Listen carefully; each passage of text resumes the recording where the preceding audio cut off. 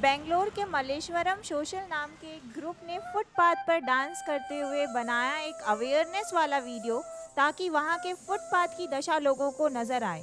ये वीडियो खूब वायरल हो रहा है।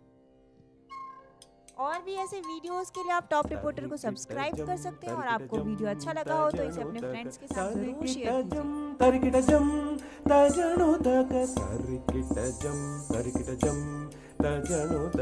ತರಿಕಿಟ ಜಂ ತರಿಕಿಟ ಜಂ ತಜಣು ತಕ ತರಿಕಿಟ ತಕ ತಕ ದಿತ್ತಳಾಂಗು ತಕ ತರಿಕಿಟ ತಕ ತಕ ದಿತ್ತಳಾಂಗು ತೋ ಧೃ ಧೃತೋಂ ಧೃತೋಂ ಓಂ ಧೃತೋಂ ತಿಲ್ಲಾನ ಜ ತಿಲ್ಲಾನ ಧೃ ತಿಲ್ಲಾನ ತಿಲ್ಲಾನ